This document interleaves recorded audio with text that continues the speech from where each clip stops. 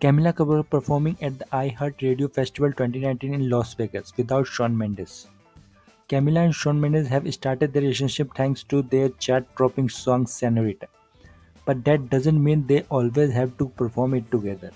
She took the stage solo at the iHeart Radio Music Festival on Friday night performing the song. Camila and Mendes recently confirmed their relationship after months of well-documented PDA. Still, many of the internet are claiming that the relationship is mostly for publicity. Camila has also opened about the relationship in the media house. She said, Honestly, this past year and a half, I was the first time I really experienced falling in love with another person. I think there is so much more depth to love when you know you are in with with another person. You have so much to say. I think that's what make an emotions. She said, I love people from afar, but falling in love with someone and having feeling for someone but they don't know it's different.